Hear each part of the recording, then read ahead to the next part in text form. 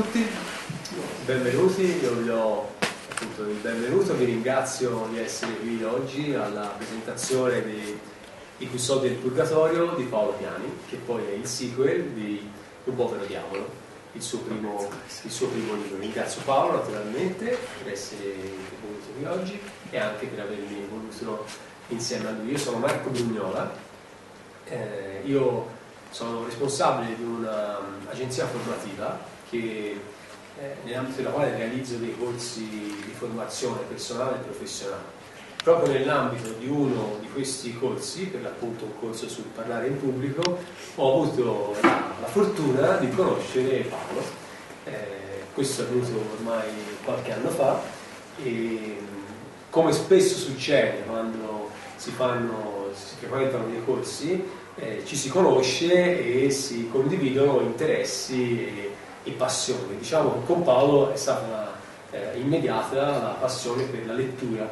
E solo successivamente, perché tra l'altro è anche una persona eh, riservata, ho scoperto che lui non soltanto li legge i libri, ma anche li scrive. Eh. E eh, io ho la, eh, la passione per la lettura, come penso molti di voi, di libri gialli in particolare, e sono abituato eh, po' per, siamo un po' tutti obbligati no? a leggere libri che sono spesso eh, stranieri, scritti da americani, in cui eh, i protagonisti normalmente hanno eh, il cliché proprio del, dell'investigatore o del detective eh, molto bravo, super, con un sacco di caratteristiche positive, no? il detective è normalmente molto intelligente, molto atletico, molto bello, eh, eccetera, eccetera.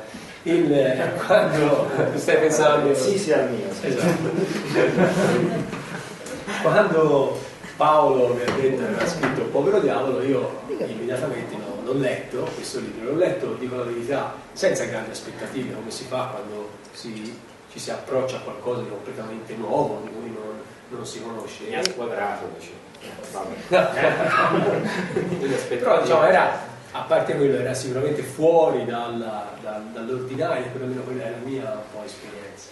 Quindi, e invece, sorprendentemente e, e positivamente, quando ho letto, io questo libro l'ho letto credo in una settimana, eh, considerando che come molti di noi durante l'arco della giornata, non durante le vacanze, ma in periodo lavorativo, quindi non è che avevo tutto il tempo che volevo da dedicarmi, però l'ho letto veramente molto, molto alla svelta, perché mi ha appunto sorpreso, ha sorpreso positivamente eh, per tutta una serie di ragioni legate a, per differenza, a quelle che erano le mie abitudini. Quindi quando poi ti trovi un qualcosa di, che abbina il giallo, cioè le, che ha tutte le caratteristiche del thriller, del giallo, della, dell'investigazione, il crimine anche violento se vogliamo, anche pauroso, però ha degli aspetti completamente diversi, eh, quasi comici, quindi un'ironia direi molto italiana ma toscana e fiorentina in particolare, eh, personaggi differenti rispetto a quelli appunto che sono in cliché, senza anticipare molto, insomma, il, il, protagonista di questo romanzo è un investigatore molto sui generis, eh? con la pancia, è, atletico, fa delle gaffe, molto, molto, più umano rispetto agli altri, insomma, molto più vicino a quella che è la nostra anche esperienza eh, e, e, e, italianità, se vogliamo, per certi versi. Quindi molto più simpatico eh, e molto meno bravo a fare il suo lavoro, eh, chiaramente. Però il risultato comunque lo ottiene in qualche maniera.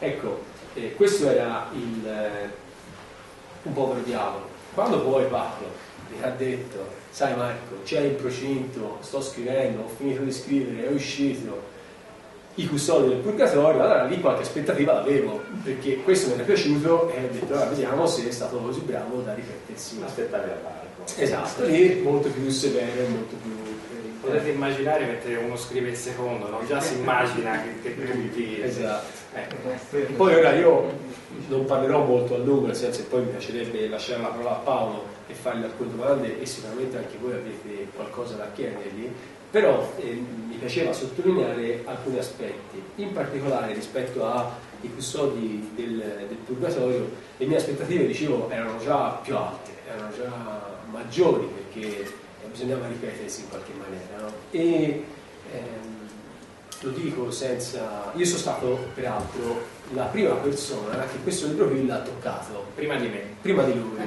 Perché lo dovevo leggere perché c'era da fare una presentazione il giorno di pochi giorni, quindi mi è arrivato per Corriere Espresso direttamente in ufficio e ho iniziato subito a leggerlo e anche questo l'ho letto velocissimamente. Eh? Veramente un grande con una trama che ti prende fin da subito, con i personaggi che conoscevo. I due libri, allora, questo è il sequel naturalmente, però non, sono due storie completamente staccate. Rimane l'ambientazione, Firenze, provincia di Firenze, eh, Toscana più in generale, rimangono i personaggi, che è il solito gruppo che, di amici intorno a Simon, che è il, il protagonista, eh, ma sono due storie completamente diverse. Ecco. Eh, cosa c'è di nuovo in quest'altro, nel Solo del Purgatorio? C'è sicuramente una, per quello che me ne intendo, insomma, una ma- maggiore maturità da parte di Paolo nella, nella scrittura proprio, nella capacità di descrivere, di rappresentare le scene e le situazioni. Eh, se vediamo anche una maggiore attenzione in questo, mentre il primo è molto ricco di effetti speciali, ed è bello per questo, perché è molto legato al fumetto, eh, che è una grande passione di Paolo, eh, il secondo è, a mio giudizio, ancora più completo, quindi diciamo, la prova l'ha superata eh, pienamente per, quello che ripeto, può essere il mio, il mio giudizio di, lettore, poi questo sono nient'altro, eh, di più. Ehm, è una storia eh, molto, molto avvincente, diversa dalla prima. Eh, diversa dalla prima. Cosa resta? resta? Restano alcuni aspetti che sono fondamentali secondo me. Allora, il primo è il fatto che, questo, che questi romanzi, questi gialli, sono ambientati nella nostra Firenze. E quindi per noi hanno qualcosa di ancora più particolare rispetto magari a un lettore altro. Questo sicuramente potrebbe essere anche un limite, perché a noi sicuramente colpisce una storia girata a Settignano, una scena che ci racconta di un inseguimento a Settignano piuttosto che a Rifredi, piuttosto che una... non è la Firenze quella da, da cartolina che normalmente troviamo, so, Piazza della Signoria, Ponte Vecchio, luoghi anche utilizzati anche da, da illustri diciamo, colleghi, eh, Brown in poi, è una Firenze più vera, se vogliamo, più nostra, cui ci sono attori fiorentini veri, insomma, con situazioni veramente avvincenti e anche molto. Prego, Dan Brown ricordo un aneddoto, perché il, la, l'ha letto? no, no, no, ho voluto cambiare una cosa e poi dopo l'uscita all'inferno perché sembrava che, che volessi copiare. Ah, ok. Lo spiegare. Allora, il, il, stavo dicendo, è una Firenze più vera, una Firenze più vicina anche alla nostra quotidianità, io lavoro a Rifredi, mi sposto insomma, nell'internet continuamente e, eh, e quindi questi, questi, questi personaggi poi eh, quando vai a, a leggere questo libro qua, eh, per uno come noi che ci vive in queste zone, è molto simpatica l'idea di immaginarsi veramente strada per strada il, il, tragitto che sta facendo in quel momento il protagonista, eccetera. È molto vicino alla nostra esperienza, diciamo.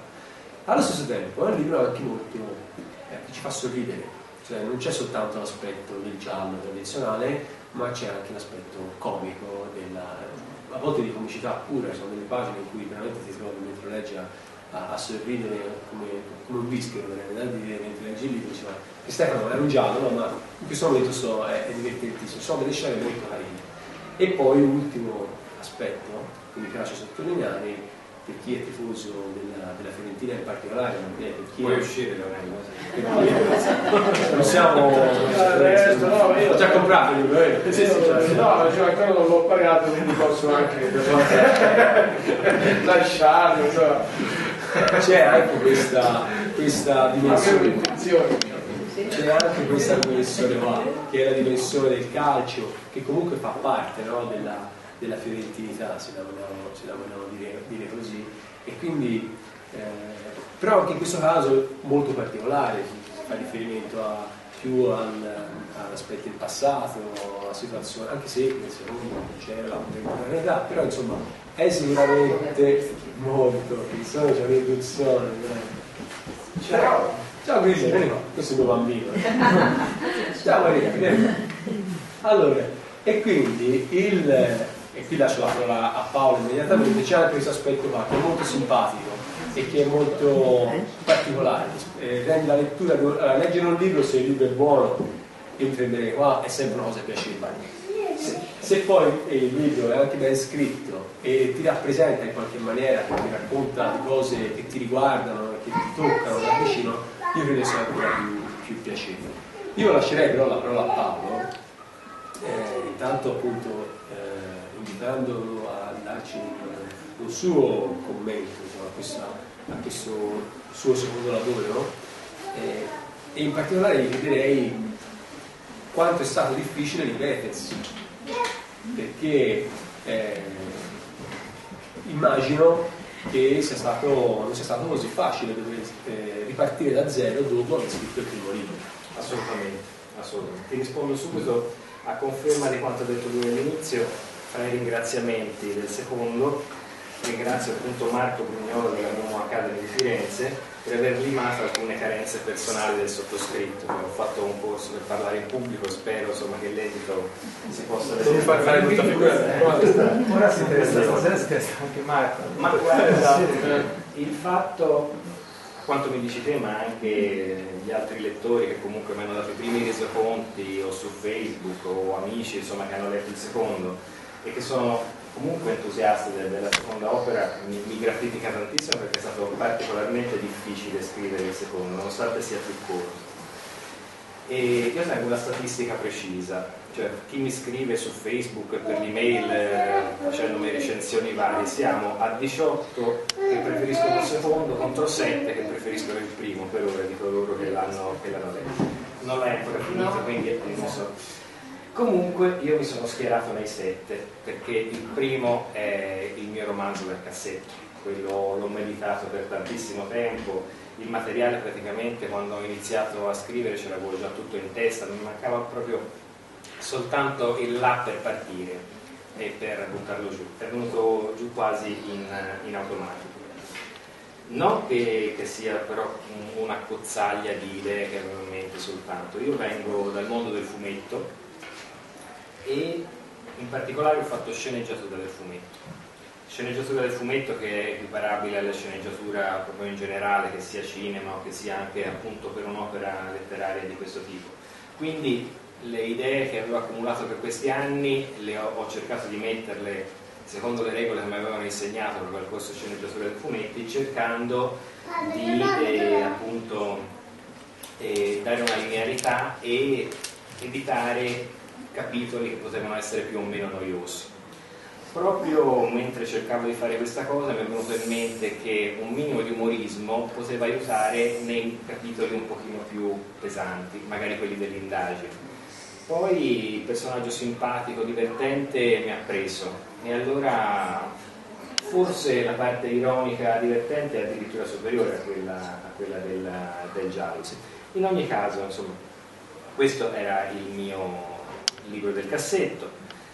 Questo nasce grazie a uno scherzo che ho subito, l'idea appunto che vi dicevo che mi serviva per, per partire il là per iniziare a scrivere viene da uno scherzo.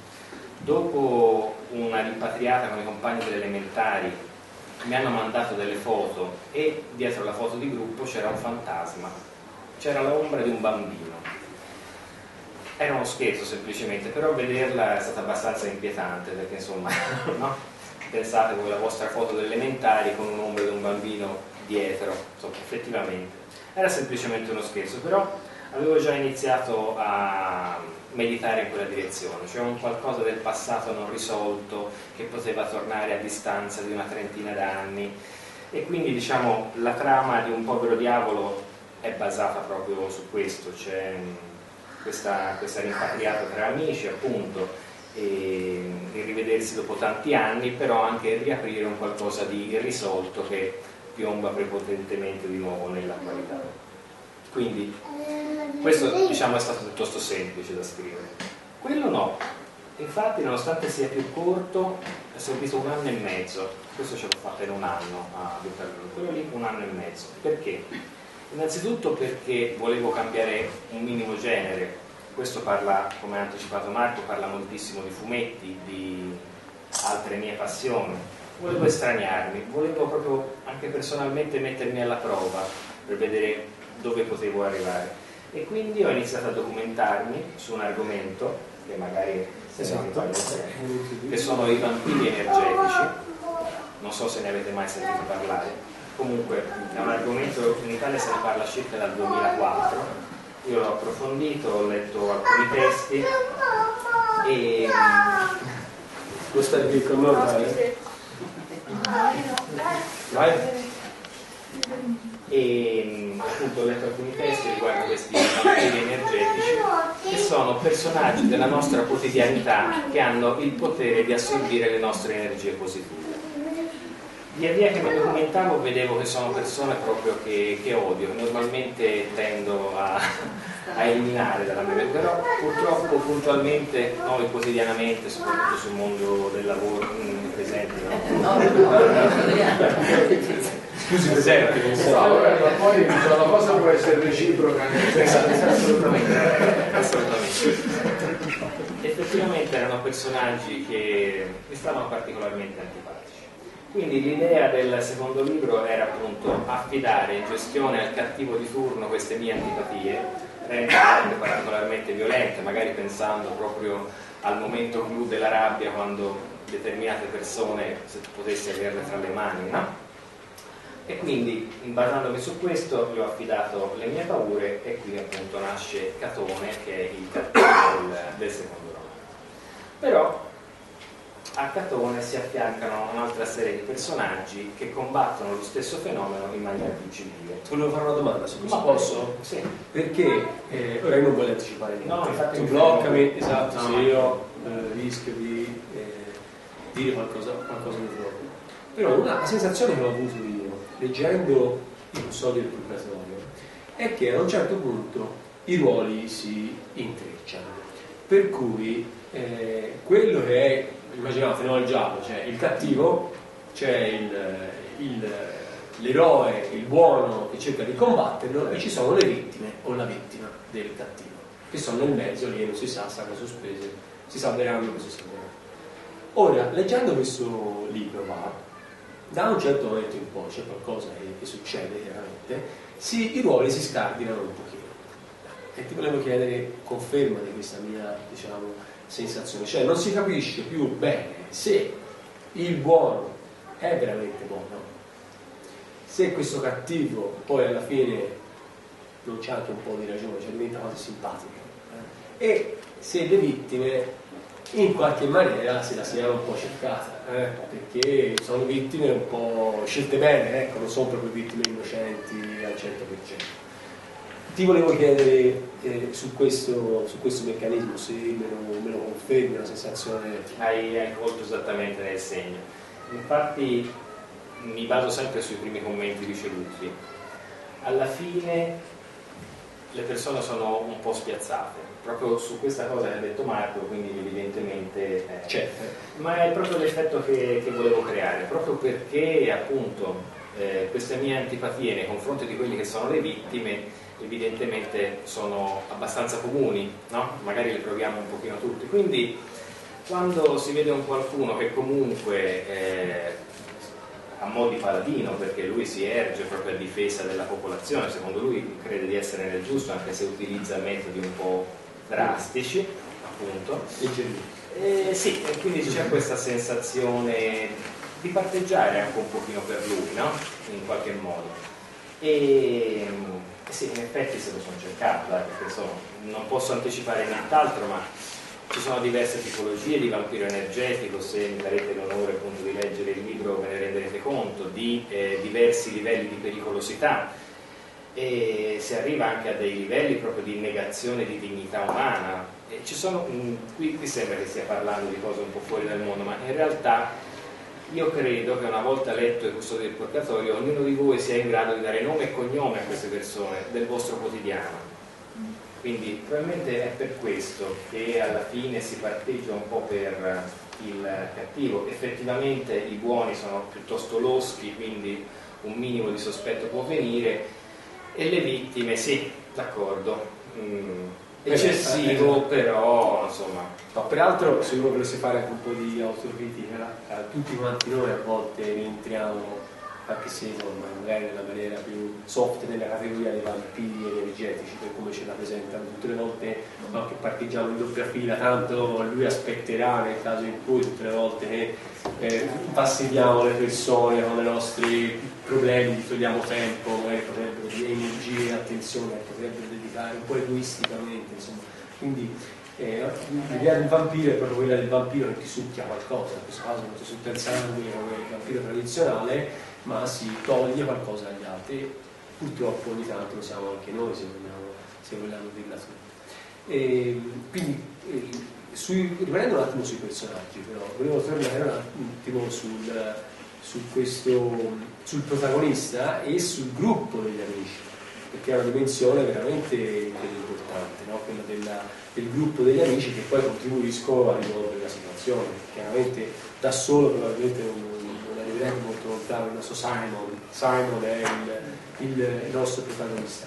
E l'hai già detto, ma eh, dove ti sei ispirato a questi, a questi personaggi? È meglio dire a chi mi sono ispirato, perché i personaggi all'interno dei miei libri sono più o meno tutte persone reali. Ci sono anch'io nel primo, non, non lo nego, molti di voi so che l'hanno letto, quindi lo sapete benissimo, c'è anche uno scrittore appunto che dà una mano a Simon a, risolvere il primo caso che è molto più intricato da, da risolvere.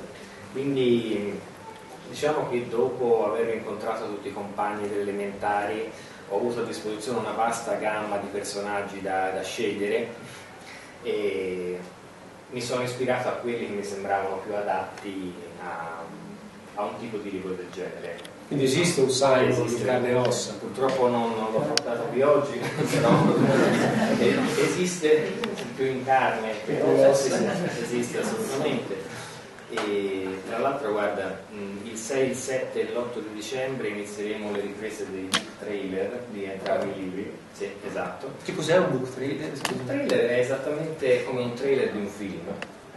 Per esempio quando ti fanno vedere dei piccoli spezzoni del film con attori però eh, il regista appena visto Simon ha detto nessuno è in grado di interpretarti, lo fai te quindi ci sarà quello vero proprio a interpretare il che naturalmente è completamente diverso da quello cioè è una caricatura lui è, nella vita è... no, diciamo non fa l'investigatore privato però non è assolutamente è una caricatura uno qui lo conosce vero? esiste davvero bene allora io non so se voi avete qualche così eh, qualche flash o qualche domanda da fare se no io continuo ce ne ho tante. Vai. Come io non ho ancora letto questo, però ho letto il libro di Dan Brown, qual era? Ah, l'aneddoto, è vero, e, quando parlavo prima della setta che agisce contro i vampiri energetici in maniera li avevo vestiti con le maschere del domino milanese e eh, del domino veneziano appunto che utilizza Dan Brown all'inizio quindi stavo ancora correggendolo quando ho letto Inferno e ho cambiato le maschere ecco, semplicemente perché sembravano, sembravano uguali okay. però non potevo, cioè non avevo letto le bozze di Dan Brown era impossibile quindi insomma i tempi come ci sarebbe stata bene una bella polemica però. Eh, cioè, io del Brown che si arrabbia Paolo Piani mi ha copiato. Cioè, sarebbe stata bella Paolo Piani dice esatto. È venuto apposta a Firenze dopo Albano. Eh esatto Albano ha un dopo Albano dopo Albano su Michael Jackson no ero sceso prima il suo quindi a questo punto potevo testimoniare Potevi testimoniare, vero? Allora, senti Paolo, uh, un'altra, io ti chiedo di Firenze e della Fiorentina, eh, certo. punto. Allora, Firenze come protagonista, della, sullo, cioè questa ambientazione, eh, però un'ambientazione particolare, dicevo prima, cioè non la Firenze da cartolina, ma la Firenze di Settignano, di Coverciano, di Rifredi, piuttosto che di Pontassieve. Pontassieve. Diciamo, Firenze, sono concentrato i peggiori criminali di Firenze nella zona sud, ma questo è stato proprio un motivo mio personale in quanto perlomeno evitavo di studiare anche i vari percorsi, erano, sono le zone mie che, che, meglio conosco e che magari ero più in grado di descrivere senza impegnarmi troppo. Ecco, quindi sicuramente il, il motivo è questo. E la Fiorentina sicuramente caratterizza, il, se vogliamo come protagonista un fiorentino vero, non si può prescindere dalla Fiorentina, ma è comunque anche una mia passione. Io abito a 300-400 metri dallo stadio, quindi da, da, quando ho dei ricordi, la domenica mattina mi passano persone con le bandiere viola accanto alla finestra, ho visto la mia prima partita all'età di 4 anni sulle ginocchia di mio padre, quindi insomma era, era una mia passione. È nel DNA. È nel DNA, assolutamente. E poi, voglio dire, dovendo caratterizzare la Firenze di periferia, una bella panchina con la scritta Juve, no, l'idea di dove, dove ci troviamo, questo sicuramente. Anche, e, no, scusami, anche Maria di Rosseto però l'hai caratterizzata. È un altro diciamo, luogo che conosco bene, ci ho lavorato tre anni e mezzo a Grosseto, te lo dicevo altra sera, sì.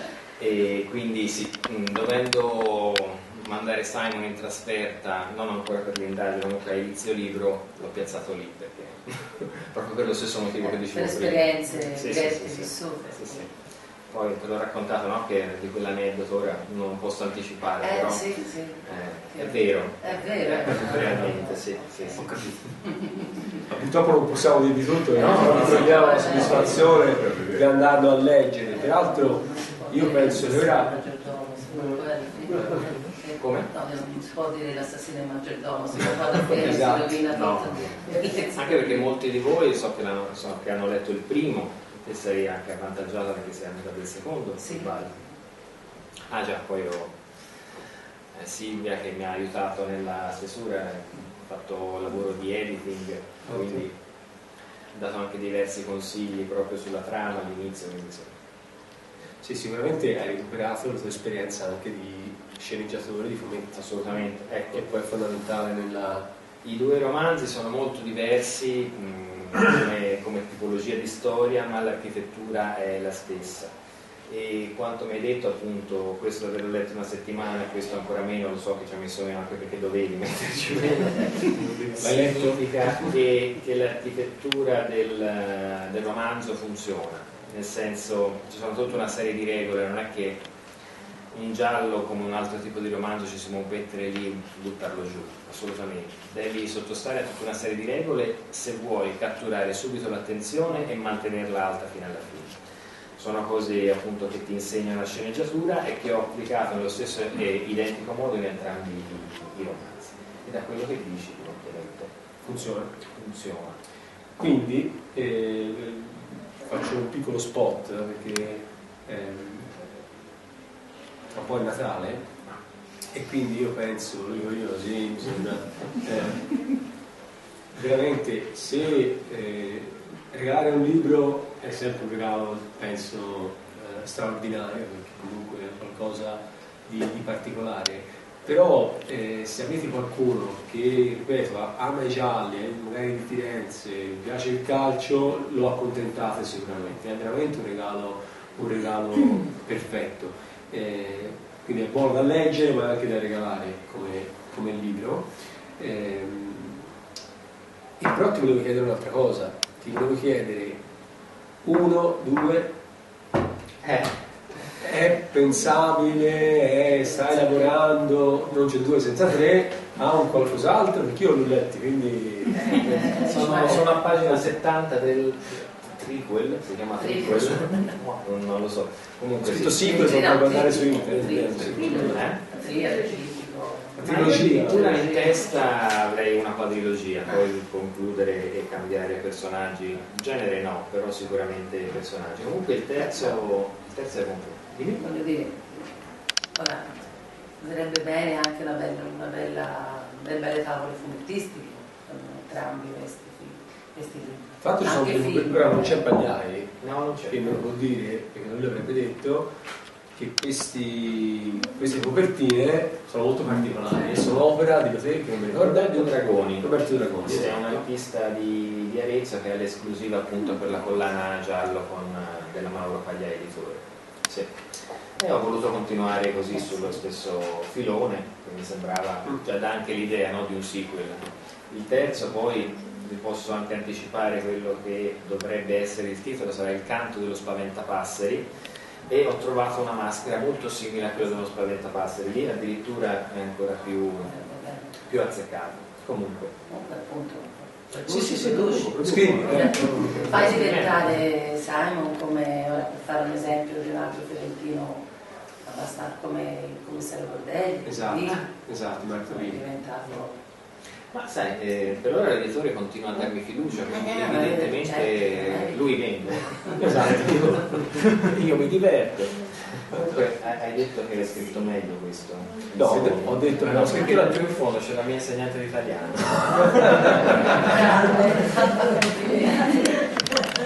Quindi insomma, devi sottolineare di nuovo. molto migliorato. Lo seguo attentamente. Potremmo andare a rivedere le pagine. No, no, no, guarda. Andavo bene. dai. Bene, io non so se voi avete qualche curiosità ancora su questi libri, altrimenti non resta in Perché hai scelto il genere giallo e non un altro genere?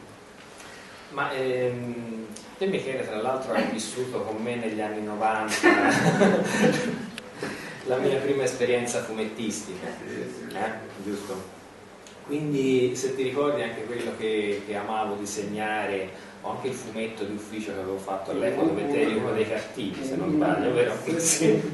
Era sempre su questo genere, quindi io, io se leggo qualcosa, 90 su 100 leggo un giallo o un thriller.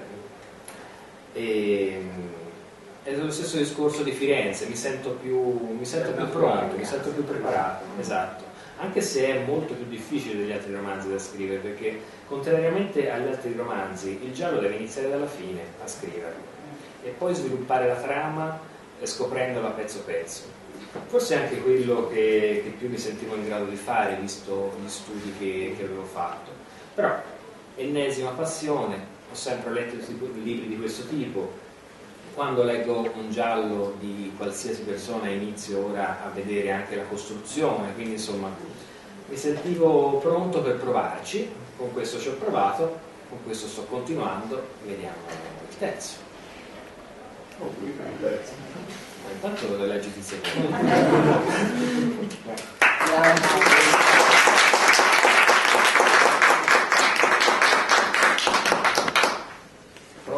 Nessuna domanda? No, il foscolo magari. no? è accattivante, custode del purgatorio, se ci dai qualche numero. Tra l'altro eh, sono stato a fare un paio di lezioni all'Istituto Superiore dove insegnavo professoressa e appunto ne avevo parlato lì nel- la prima volta di gusto del purgatorio. E, è appunto il nome della setta di cui vi parlavo prima, semplicemente.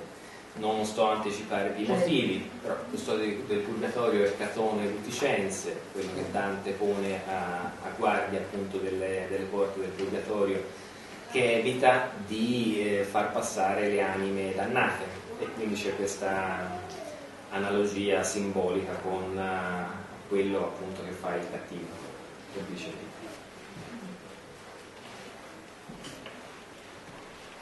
Altre domande? Ci salutiamo allora. Eh, Grazie davvero di essere intervenuto. eh. Ah, sul, sul povero diavolo che lei Te c'hai pagina Facebook e Io pagina gruppo. Facebook e gruppo. E gruppo, quindi La chi di pagina- voi, Esatto, quasi tutti, utilizziamo i social media e Facebook, andate a vedere perché appunto dal, ehm, come si chiama, video, dal video che verrà Ah sì, quello, quello assolutamente. esatto in poi, Il trailer. dal book trailer in poi troverete tanti e tante notizie sulla- proprio sul gruppo dei lettori, sulla community che gira intorno al- a questi libri a Paolo in particolare, quindi se eh, cliccate mi piace su quelle pagine là rimanete in contatto e sapete le cose un pochino prima degli ci sono altri. anche le foto dei personaggi veri. Veri, curiosità, backstage, Sono ispirato. Quindi quello è molto, molto molto importante. Grazie Paolo, grazie a tutti quanti voi.